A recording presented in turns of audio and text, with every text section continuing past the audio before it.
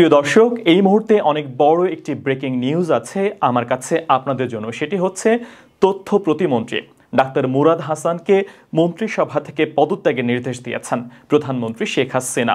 আওয়ামী লীগের সাধারণ সম্পাদক, সড়ক পরিবহন ও সেতুমন্ত্রী ওবাদুল কাদের সংবাদ মাধ্যমকে এই তথ্যটি নিশ্চিত করেছেন। তাই বলাই যায়, যে কোনো মুহূর্তে পদত্যাগ করতে যাচ্ছেন তথ্য প্রতিমন্ত্রী ডাক্তার মুরাদ হাসান।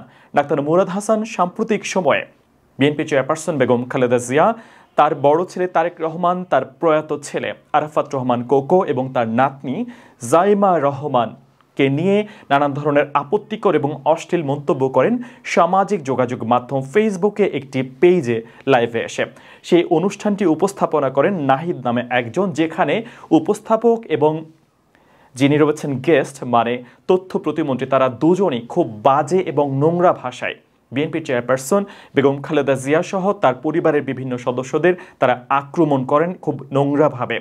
এবং এটি যখন প্রচারিত হয়, তখন সামাজিক যোগাযোগ মাধ্যম সহ বিভিন্ন মাধ্যমে ব্যাপক প্রতিক্রিয়া তৈরি হয়।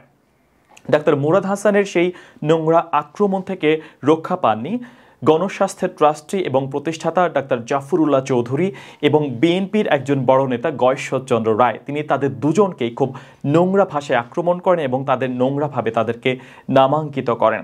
এবং এই ঘটনা যখন ভাইরাল হচ্ছিল সামাজিক যোগাযোগ মাধ্যমে, গতকালকেই তিনি আবার সে একই পেজ থেকে নাহিদ ভেন্স পিকচার নামে সেই পেজ থেকে তিনি আবারও লাইভে আসেন। সেই উপস্থাপকের সঙ্গে সেখানে তিনি বলেন যে তিনি জাইমা রহমানকে নিয়ে এ ধরনের কথা তিনি আসলে বলতে চাননি। জাইমা রহমান তার নিজের মেয়ের মতো এবং আসলে এগুলো এডিট করা হয়েছে বলে তিনি সেখানে দাবি করেন। কিন্তু গতকাল তিনি যখন ফেসবুকে লাইভ করছিলেন, তার কিছুক্ষণ পরই একটি অডিও রেকর্ড সামাজিক যোগাযোগ মাধ্যমে ভাইরাল হতে শুরু করে। সেটি হচ্ছে বাংলাদেশের অন্যতম একজন শীর্ষস্থানীয় অভিনেত্রী মাহিয়া মাহি এবং চলচ্চিত্র নায়ক এবং অভিনেতা ইমনের সঙ্গে তার একটি ফোন আলাপ, যেখানে তিনি বারবার তাদেরকে ফোর্স করছিলেন মাহি যেন তার কাছে আসে সোনারগাঁও হোটেলে এবং তিনি নানান ধরনের নোংরা তিনি মন্তব্য করে যাচ্ছিলেন এবং নোংরা তিনি ইঙ্গিত দিয়ে যাচ্ছিলেন নায়িকা মাহিয়া মাহিকে। যদিও এই ব্যাপারে নায়িকা মাহিয়া মাহির এখনও পর্যন্ত কোনো ধরনের কোনো মন্তব্য পাওয়া যায়নি, তবে সেই ফোনালাপে যেই নায়ক ছিলেন ইমন, তার মন্তব্য পাওয়া গেছে। তিনি একটি অনলাইন মাধ্যমের সঙ্গে কথা বলেছেন। সেখানে তিনি বারবার বলেছেন, সরকারের উচ্চ পর্যায়ের একজন মন্ত্রী যখন তাকে ফোন করেন এবং তিনি যখন তার কাছে নানান ধরনের আবদার করেন এবং তাদেরকে থ্রেড দেন। রাষ্ট্রীয় বিভিন্ন গোয়েন্দা সংস্থা সহ নিরাপত্তা বাহিনীর প্রভাব তিনি খাটানোর চেষ্টা করেন। তখন আসলে তিনি বাধ্য হয়েই মন্ত্রীকে, প্রতিমন্ত্রীকে সেই সময় তিনি বাধ্য হয়েই কোনোভাবে তিনি সামাল দেওয়ার চেষ্টা করেছেন বলে তিনি বাংলা ট্রিবিউন নামের একটি পেজে তিনি সেটি দাবি করেছেন তাদের সঙ্গে কথোপকথনে। এবং একটা কথা এখানে বলতে চাই, ডাক্তার মুরাদ হাসান, তিনি বেশ কয়েক মাস ধরে তিনি খুব বেশি আলোচনায় রয়েছেন। গত অক্টোবর মাসে তিনি প্রথম সামাজিক যোগাযোগ মাধ্যমে ভাইরাল হতে থাকেন, যখন তিনি দাবি করছিলেন যে রাষ্ট্রধর্ম ইসলাম যেটি রয়েছে বাংলাদেশের সংবিধানে তিনি সেটি রাখতে চান না এবং এই জাতীয় সংসদেই, বর্তমান সংসদে তিনি সেই বিল উত্থাপন করবেন এবং বাহাত্তরের সংবিধানে বাংলাদেশ ফিরে যাবে বলে তিনি বারবার দাবি করছিলেন। বিভিন্ন অনুষ্ঠানে এবং সাংবাদিকদেরকে তিনি বারবার বলছিলেন। এইটি যখন তিনি বলছিলেন, তখন বিভিন্ন মাধ্যমে যারা রাষ্ট্রধর্ম, ইসলাম সংবিধানে থাকুক, এই মতবাদে যারা বিশ্বাসী, যারা এটা চান, তাদের মধ্যে ব্যাপক প্রতিক্রিয়া তৈরি হয়েছিল। কিন্তু তারপর যখন ডাক্তার মুরাদ হাসান, বিএনপির চেয়ারপারসন বেগম খালেদা জিয়ার চিকিৎসা নিয়ে এবং তার অসুখ নিয়ে বারবার তিনি বিভিন্ন প্রোগ্রামে নানান ধরনের তিনি কথা বলে যাচ্ছিলেন।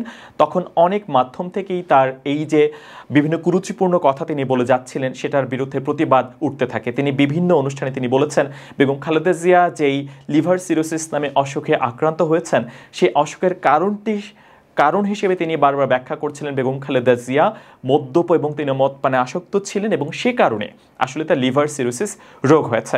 তিনি বারবার সেই লাইভেও তিনি বারবার বলছিলেন বেগম খালেদা জিয়া, তিনি যখন তার ক্ষমতায় ছিলেন তখন তিনি তার এই মদ্যপ বা তার মদপানের এই অভ্যাসটি ঢাকার জন্য তিনি কী কী ধরনের ব্যবস্থা নিতেন?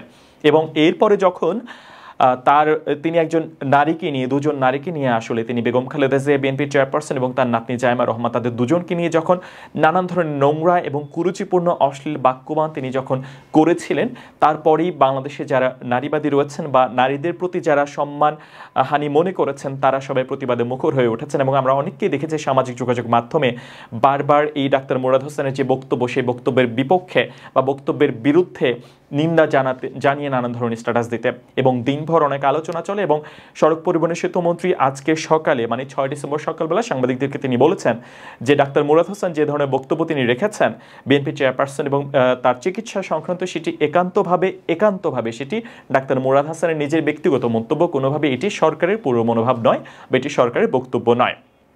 এবং এরপর যখন গতকাল পাঁচই ডিসেম্বর রাতে একজন নায়িকাকে সহ তার যে ফোনালাপ ফাঁস হয়, সেই ফোনালাপে তিনি যে ধরনের অধ্যত্বপূর্ণ আচরণ করেছেন এবং রাষ্ট্রের সর্বোচ্চ পর্যায়ে থেকে তিনি যেই ক্ষমতার অপব্যবহার বলা যায় সেটি করার তিনি চেষ্টা করেছেন, এরপর থেকে পুরো সামাজিক যোগাযোগ মাধ্যম আসলে প্রতিবাদে উত্তাল হয়ে ওঠে এবং শুধু বিএনপি পন্থী লোকজন নন, বরং আওয়ামী আওয়ামী পন্থী সহ নানান শ্রেণি পেশার মানুষ এটির বিরোধিতা করে আসছিলেন এবং অবশেষে সড়ক পরিবহন ও সেতু মন্ত্রী ওবায়দুল কাদের তিনি ঘোষণা দিয়েছেন যে প্রধানমন্ত্রী শেখ হাসিনা, ডাক্তার মুরাদ হাসানকে মন্ত্রিসভা থেকে পদত্যাগের নির্দেশ দিয়েছেন এবং ডাক্তার মুরাদ হাসানের একটি বক্তব্য বেশ কিছুদিন আগে ভাইরাল হয়েছে।